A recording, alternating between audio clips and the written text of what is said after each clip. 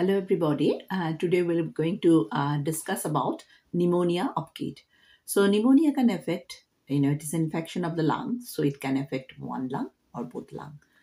Um, so either it can be caused by bacteria or it can be by virus, um, and it makes the child unwell.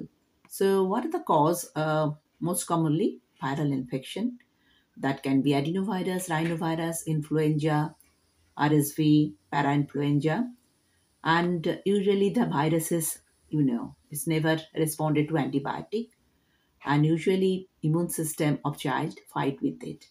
Second most, of course, by bacterial infection and streptopneumonia is often often to blame.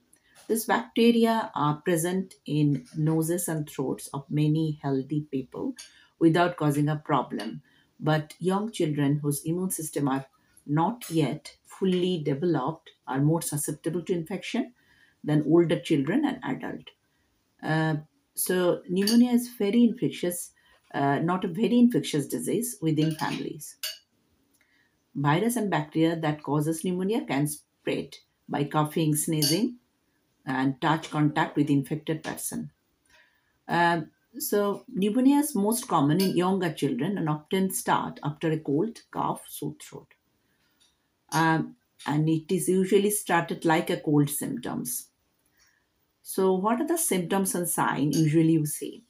Uh, it can depend upon the age of the child, and um, key symptoms will be the temperature above 38.5 degree and rapid breathing, breathing or difficulty in breathing. Other is cough, labored breathing. So that can happen. Vomiting, chest pain, or abdominal pain or decreased activity, loss of appetite. In extreme cases, can be blue, gray lip, and fingertip. Um, so, how it can be diagnosed? The doctor will examine child, organize a chest X-ray, blood test, sometimes bacterial culture.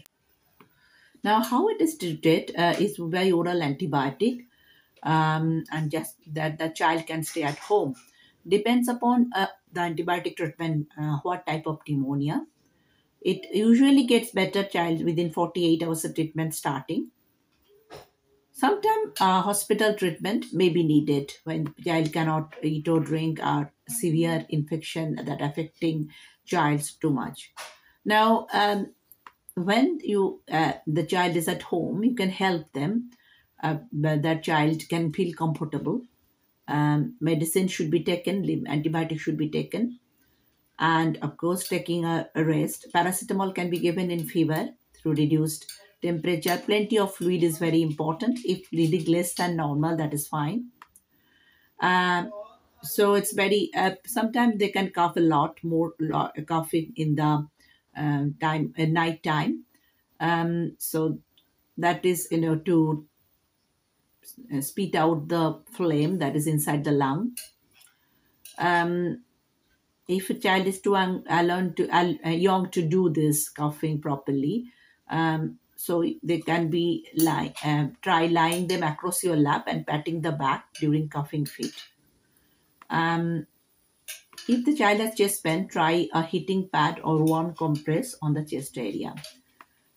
So always keep a look on that whether lip and nails they are all pink and not become bluish or gray. Um, so in that case it is a bit emergency.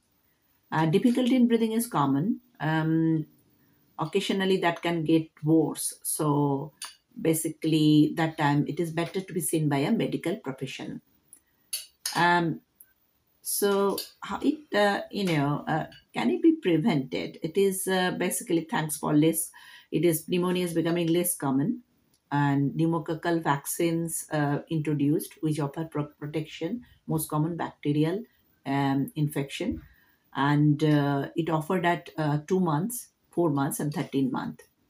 In UK 2001 for children, condition which puts them in high risk of infection like heart disease um, it is become part of routine immunization in 2006. So yes, side effect of the vaccine is very rare.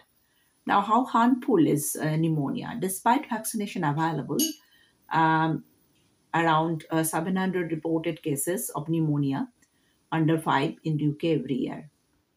Um, And disease claims the lives of around 40 children in England and Wales every year. So it is worth being aware of the sign and symptoms of pneumonia and take medical help.